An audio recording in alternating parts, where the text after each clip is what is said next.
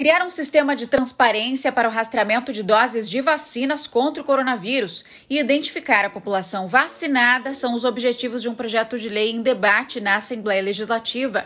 Na Comissão de Constituição e Justiça, a proposta foi relatada pelo deputado Valdir Cobalcini, que sugeriu uma emenda modificativa para readequar o texto. Em resumo, a emenda modificativa suprime as expressões abre aspas, identificação do vacinado devendo constar pelo menos o um nome completo, fecha aspas.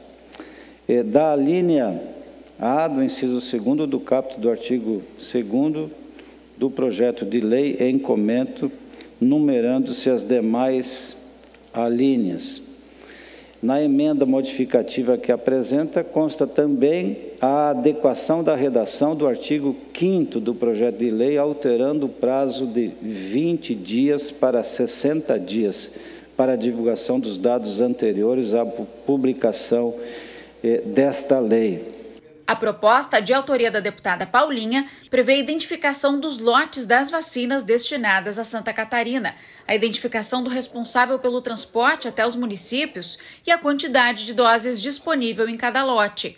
Com as adequações sugeridas pelo deputado Valdir Cobalcini, o texto foi aprovado.